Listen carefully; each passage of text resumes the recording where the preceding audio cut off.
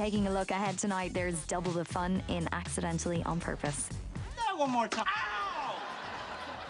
What the heck was that? My chick punch. Then at 8, we take not one, but two visits to community. You want the top bunk or the bottom bunk? Top. Me too. Racing for it. I win.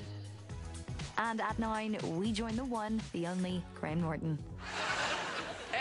Everyone, loved that routine. Well, except for this man who's lost his job.